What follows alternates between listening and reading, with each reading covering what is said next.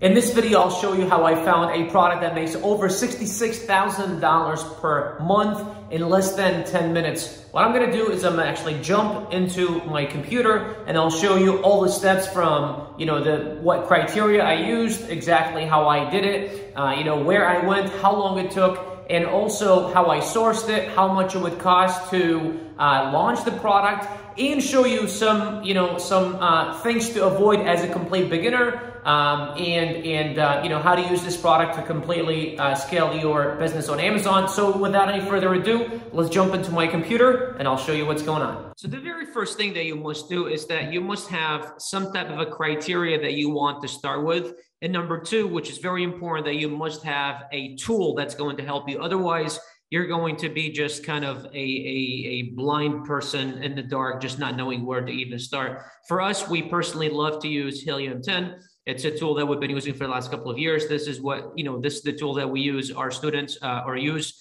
to teach our students inside of our program. And below this video in the description, there is going to be a link to get Helium 10 at 50% off uh, first month or 10% off every other month. So be sure to check it out. Uh, also, if this is your very first time to the channel, consider subscribing as we drop several videos every single month teaching you about how to crush it on Amazon and other methods and other strategies on how to really gain control over your life and completely uh, uh, make something you know out of your life. So um, let's go to get started. Um, the very first thing that I wanted to uh, do is that I wanted to build my criteria. So this is going to be criteria. So in this, uh, you know, in this case, what I wanted to do is I wanted to, um, I said that my criteria is going to be minimum $8,000 uh, per month, 8K a month in sales, right? Uh, not more than, so max 300 reviews and then uh, max $70 uh, price. Okay, so those were the three things that I wanted to focus on $8,000 a month in sales, at least minimum, uh, not more than 300 reviews, and max price was $70, right? Now you can play around with these numbers as you like.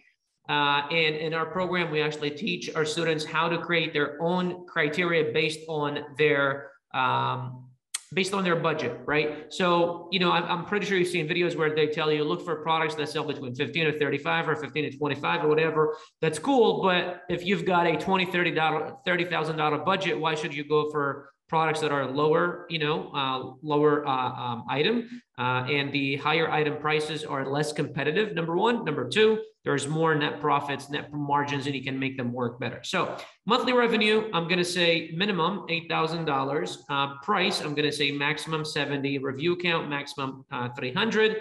And then the categories, I wanted to do personal, uh, beauty, health and household, home and kitchen, and pet supplies. So let's go ahead and add that as well.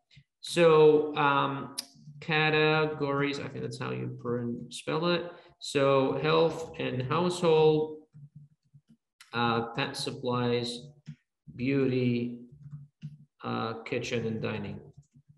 Okay, uh, there are 10, uh, we call them Holy Grail uh, criteria, uh, or I'm sorry, uh, categories that we like to uh, look for or look within. However, uh, for just this video, we're going to say those four. Okay. And then that's it. And then I said, okay, cool. I'm going to run my search. Right. And then I just kind of, you know, what this does is that the tool will go to Amazon from the millions of products. It'll pull products that only match this very specific criteria. Now you can do other things. You can go to like, you know, here and say, okay, I don't want products that are too large because your shipping is going to be too high or whatever. I just kind of kept it simple. Um, you can go to advanced and you can get a little crazy here. I just kept it simple again. And then I just kept on going through here. Usually what I like to do is like, just kind of scroll through common i guess that's that's the word that i'm looking for anything that's common sorry i was trying to see if i'm recording anything that's common i actually make sure that i don't um, that i don't go for right um, and i just kind of skip so then I, what I did is I just kept, kind of kept on going and then going, going, going. Um, this kind of, you know, intrigued me, uh, whole horse blankets, but I'm like, mm, I don't know if I want to sell horse blankets, right? It kind of sounds weird. So I just kind of kept on going, going, going. And then every single page has, um, I'm not sure what the setting is, but I think default setting is like 20, 20 per page or something like that. It's either a 20 or 50. Let's see. should tell you here somewhere. Well, 200 products, everything, but I thought it gives you the option to like choose how many it shows you. Okay, anyways, I kept on going again. Um, you know, there are several things that like this is very common. Like, I don't know, I just didn't see it. And I've obviously over the years I've built like a um like kind of a sixth or seventh sense. I don't know, seven, eight. How many senses are there? I'm not sure. Uh, to to like products, right? Um, and like I see products and I can just like right away say okay, yes or no, right? Like these are old rugs, you know. I didn't like them, and then I came across this thing. And I was like, what is that? So blinds. Okay, interesting. So then what I did is I clicked on here and then I came to this page, right? And then I came to the actual page of the product and I was like, oh, this is interesting. This is unique. Never seen this before, right? So then what I like to do is once I am interested in a product, I try to get a keyword from the title. So the keyword from the title for me was this. I can't, I don't know how you pronounce this. I think it's fa, fox, I'm not sure. Whatever wood blind because wood blind is going to be too broad. It'll bring you all kinds of different um, products. And I say riches are in the niches. So this is kind of like niching down a little bit, right? So I said, okay, I clicked at this and then I came here and then I searched it. And then I ran x-ray. This is another tool. So this is called black box. And then this is called x-ray, right?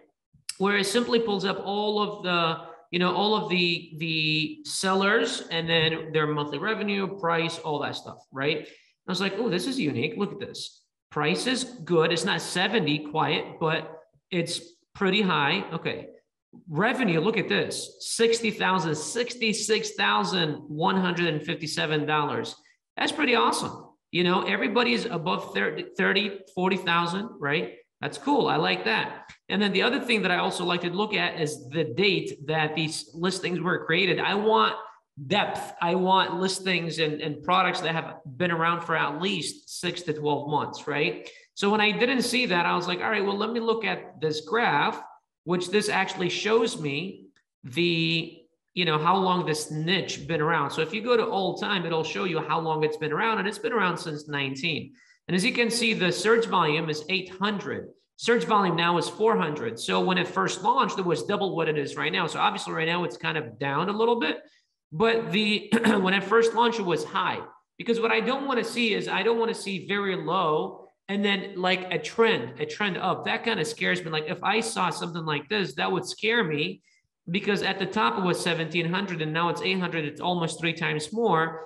And if I don't see this, I'm kind of scared. Like, okay, is this going to keep going up or is it going to drop? Like, I want to see some, I want to see, um, what's the word? I want to see like, not depth, but I want to see a listing and a niche been around for some time. So that way it's proven itself. You know, I don't like to see niches that are like doing this, but it's only been around for four or five months because this means it's being, you know, especially now with TikTok, uh, a girl with 20 million followers will go on TikTok and make a video about something, and then a product will blow up, but then she'll stop making videos about it. The trend will go, and then all of a sudden the product goes down. And that's not, you know, that's just not a good way of, of running business, right?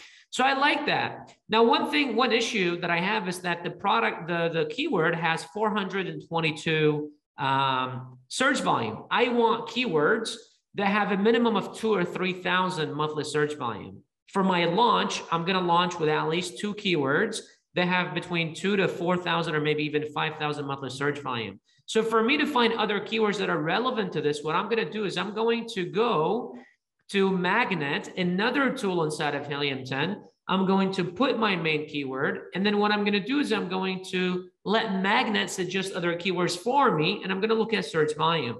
Now, what I'm going to do is I'm going to sort by high to low.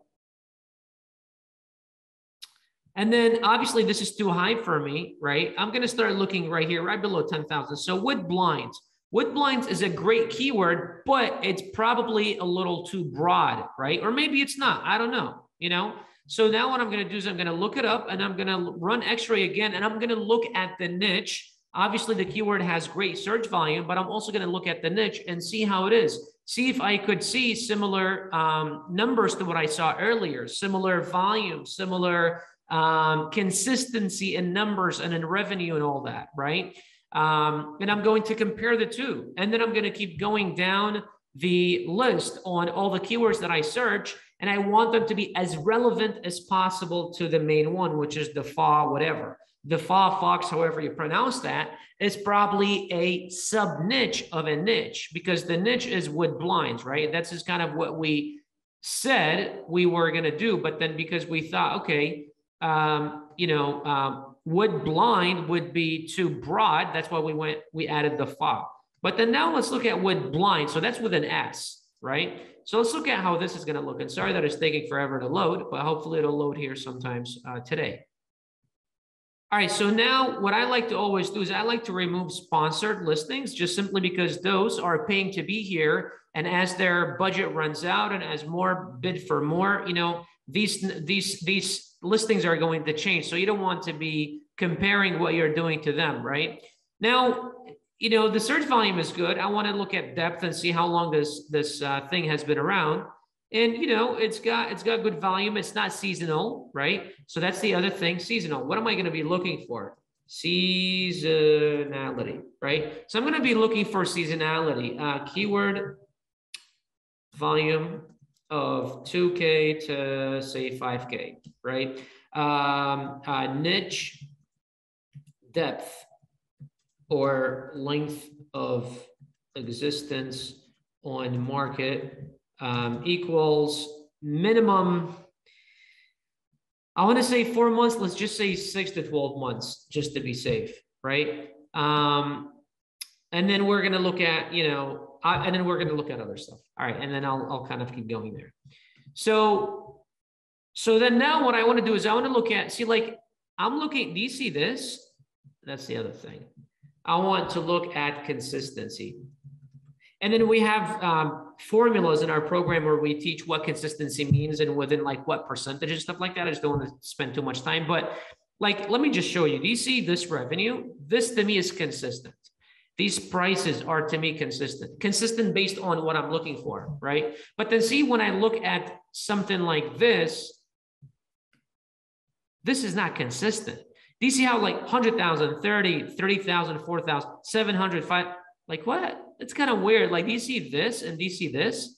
So much more consistency. So although I found a keyword that's got only 400 monthly search volume, but it's not very high, but I love the consistency where this one has 8,000 and it's not very, and that usually happens when you drill down into a sub niche. And that's the other thing that you want to do is you want to go for a sub niche, right? So that's the, that's very important is that you go for a sub niche because you see what happens is this produces consistency, right? The sub niche does. Okay. So my goal right now, what I'm going to do is I'm going to keep looking until I find another one or two keywords that have similar consistency, but are in that two to 5,000 monthly search volume. Okay. Now, once I've done that, what I'm going to do is I'm going to go to what is called Alibaba. And this is where I'm going to start looking for suppliers to find my product, right? My goal is what I want to do is I want to go to my niche and I want to say, what is the average price? What is the differentiation? How am I going to differentiate? How am I going to stand out? And what is my price? right? How much am I going to sell it for? So that, that's going to be the second. The other thing is um, find supplier uh, to purchase at 25 to 35% of sell price. So example would be if sell price um, is equals $25, um, cost, DDP, cost equals, um, grab my calculator real quick. So uh, 50 times 0.25 is 1250. 1250 to 50 times 0.35 is 1750. Okay. Um, and then the other thing is um, DDP equals manufacturing plus shipping to AMZ warehouse. In other words, we're doing FBA. Okay, hope this helps. All right, by the way, if you guys are finding value in this in this video, be sure that you guys are smashing the thumbs up button and please drop your comments in the comment section. We want to know what questions you have. And also, if you're like Bashar, this sounds great. I love what you're teaching here. I love what you're talking about, but this sounds a little more complicated than just me watching a 20 minute video and going out there and investing thousands of dollars. And I would rather have someone actually hold my hand and walk me through this entire thing. Right below this video, there is a short presentation that walks you through how this all works and how you can become part of BJK University. So be sure to check it out if you're interested in that. Now let's keep going. So uh, the other thing that I want to look at is I want to go here and I want to start finding a supplier. So say we're gonna we're gonna sell it for fifty dollars. So now we know that twelve fifty to seventeen fifty is going to be our um, our sell price, uh, our purchase price. The other thing is uh, here's something. So twenty five percent should be profit, right?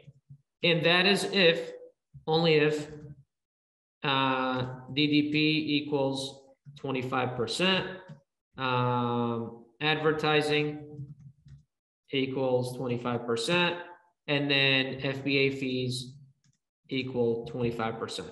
So this is kind of what we focus on. It's the reason why we want our DDP price to be at 25 to 35%. I say another 10, you know, 10%, that's fine. Because even if my profit is, is, is um, you know, is, is uh, 15%, I'm okay with that because this advertising fee is not going to be on every single unit. Meaning, if I'm running PPC and say my PPC is really costing me 35%, not every single sale that I'm generating is going to come through PPC. 40% should come from PPC, 60% should be organic. So on 60% of orders, this is going to be added to my profit. On 60% of my orders, even if this is 15%, it's going to be really 15 plus, uh, 25, which would be 40% net profit. So I'm okay with even uh, getting uh, 15% uh, of profits. Okay. All right. So let's see. Um, and then we're just going to keep on looking until we find a supplier that's going to give us what we're looking for. And, and obviously, I don't want to spend too much time because you know I only have so much time to cover here. But the one, the other thing that you want to look at is how are you going to differentiate? Differentiation, right? Differentiation, um, differentiation plus value add. Okay, and then a uh, couple things to do that is uh, read negative comments. So that's the very first thing. And then the second thing is uh, search your main keyword in other marketplaces. So uh, example, example here is if you're selling in US, search in UK, Canada, Mexico, Germany, etc. Right? Uh, and then you want to see what ideas that they have in those marketplaces that you can potentially take and implement in, in the US marketplace. Uh, the other thing would be uh, read negative comments to see what, what customers are complaining about. Uh, so that way you can make your product better. And then the other thing would be, uh, um, what is it called? Uh, frequently, um, frequently bought together. Okay, so frequently bought together. There you go. And if you go to any listing, so if you click on any listing, say let's just go here, uh, right below every single listing, there is going to be a um, there's going to be this section called frequently bought together. So usually it's like right here somewhere. Sometimes it shows, sometimes it doesn't show, sometimes it just needs some time to load. Not related, not related because related is usually the same exact product. We usually frequently bought together. It gives you ideas like customers that buy this also buys this, and this gives you ideas to like create bundles in in that so you can so that you can stand out and and and uh, and add value to your product. Okay. So once you've done that, obviously now what you want to do is you want to start negotiating with suppliers and so on. Now here's here's the issue here. So um, let's go back to um, let me see. So let's remove this black box. All right. So let's go back to, let's go back to this. And here's what I want to show you guys. So, um, so what I want to show you guys is this right here. So um, as you can see here, let's remove the sponsored ones because we don't want to, as you can see, they, were completely different products. Um, so here, here's the thing that we want to look for is So this is, you know, you've got you've got competitors, and see now we see competitors as high as one hundred and forty-four thousand dollars per month, right? Now, if you are a complete beginner, if you've never sold on Amazon, this would probably be a terrible product for you to start with. And here is a couple of reasons why. First of all, your reviews. Remember when I said I want to be below 300? So when I want to be below 300, I want not more than three or four of the top 10 sellers to have above 300. So not more than, not more than top, um, not more than three, four top sellers, top